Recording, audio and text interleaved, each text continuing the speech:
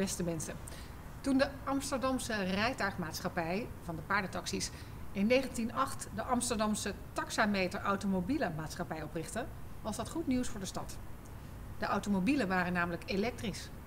En dat betekende heel wat minder paardenmest op straat en ook schonere lucht. Aan de Keizersgracht en in de Beursstraat kwamen er laadstations. En in 1914 reden er in de hoofdstad maar liefst 60 elektrische taxis rond.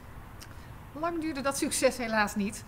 De technologie was verre van perfect en de verbrandingsmotor bleek toen vele malen efficiënter.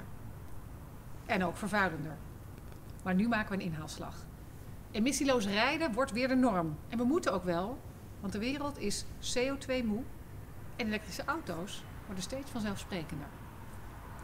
Maar de bouwlogistiek en het vrachtvervoer lopen nog achter. Vrachtwagens op batterijen, dat leek tot voor kort eigenlijk onmogelijk. En toch is ook hier een duurzame doorbraak. Een transportbedrijf met schone lucht als doelstelling. Breitner laat zien dat het kan. Samen met de gemeente Rotterdam en supermarkt Keten Plus. Vandaag zijn we niet alleen weer een stap dichter bij een steeds schonere stad. Want schone steden en schone lucht zijn het doel. Maar linksom of rechtsom, ook in de schone steden, moeten supermarkten goed bevoorraad kunnen worden.